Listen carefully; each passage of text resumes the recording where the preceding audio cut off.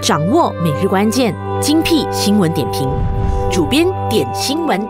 欢迎回来，主编点新闻，我是佩玲。我是志峰。嗯，今天就看到呢，位于这一个雪州树邦在野二十五区呢，这一间呢拥有一百四十年的信都庙，也就是马哈马呃马哈马里安曼庙哦，在今天凌晨的时候呢，就遭到了一批呢来历不明的蒙面男子的袭击。那根据这个消息就透露说呢，这一批蒙面的男子呢，是在凌晨大概是两点左右呢，就闯入了信都教呢呃信都庙呢，就进行了破坏。那当地的居民呢，其实当时候是尝试说，哎，在庙外呢，就是呃阻止他们进入的。可是当双方呢发生冲突之后呢，这个对峙随后呢是升级为混乱。那在这件事情当中呢，也有几个人呢是受伤了，同时还有呢车辆是被烧毁的。那当地的居民就说呢，哎，这其实呢并不是一个种族的冲突，那并且呢就把这个矛头呢就指向说，哎，可能呢是发展商呢就呃就是雇佣了一些暴徒来破坏。这一间信徒庙，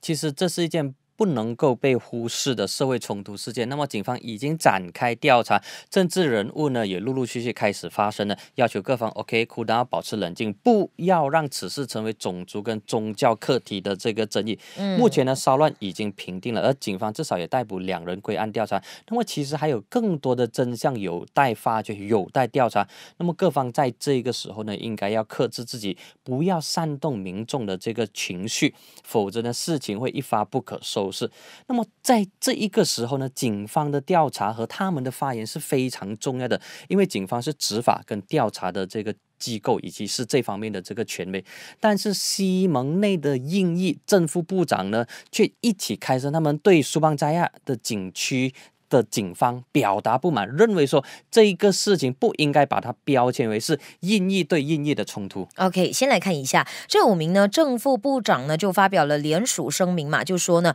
其实呢在这个事件呢爆发之后呢，苏邦在野景区总部发表的声明呢是有误的，有错误的。OK，那联署的正副部长呢就包括了没有党籍的首相署部长呢瓦塔穆迪，也包括了来自行动党的人资部长古拉，通讯部长戈宾。新来自行动党，那来自公正党的水务部长西维尔，以及呢来自公众党的乡区发展部的副部长西华拉沙。那瓦塔穆迪呢是负责呢掌管这个团结事务的嘛？他在代表呢念出这个联署呢呃文告的时候就说呢，全国总警长呢福慈其实有必要呢即刻澄清这件事情，同时要介入调查，因为苏邦在野景区总部的这个文告是错误的，而且呢是不负责任的。那在印裔的这个。社群当中呢，已经制造了紧张，因为你的这一个发表声明呢，就是说印裔对印裔这样的一个情况。他说，特别呢是苏邦在野警方的一个迟缓，还有呢就是低效率的应对，所以他认为啊，苏邦在野的警方应该要受到调查以及纪律的对付。所以警方呢，必须针对这一个课题展开全面和独立的调。调查，因为现在已经有正副部长站出来说不满你警方的这个表现了，你的这个效率。那么这些警方的调查呢，必须要找出信都庙被袭击背后的。凶手到底是谁？他们的动机是什么？然后将这一批施暴者绳之于法，让他们面对法律的这个制裁。同时呢，还是回归到刚才我们有提到的，民众在这个时候呢，最需要的是冷静。往往在这个时候，我们最缺乏的还是冷静。嗯，那么民众呢，如果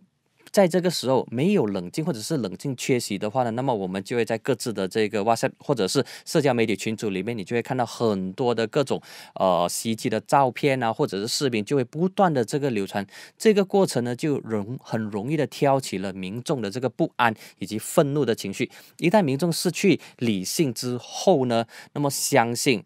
他们呢。的情绪被挑起了，看到信都庙被烧毁，车辆被烧毁，那么这一股情绪呢，可能会化成行动，会激发更多人的这一个粗暴的一个动作。瓦塔穆迪就有说呢，政府会密切关注这一件事件，因为这一个这样的呃事件的发生呢，看起来呢可能会破坏我国的多元种族呢还有宗教的社会。那另外呢，朝野的政治人物呢，现在也呼吁民众呢一定要保持冷静，不要给予呢种族分子呢就是有机会呢就是可以呃介入。入的。那雪州大虫呢，阿米鲁丁呢就在推特发文呢，劝告民众说，让警方能够有充裕的时间呢来完成这个调查，也不要在社交媒体上呢发出任何就是会呃跟种族主义啊，或者是煽动或者是仇恨的言论。其实这是考验西蒙在处理种族跟宗教事情的这个职位。这起事件呢，涉及的是因。啊，印裔以及信徒教徒，那么西蒙领袖已经站出来发言了。我相信理性的马来西亚人都热爱和平，只有少数的种族主义者呢，是借机要挑起种族的紧张关系。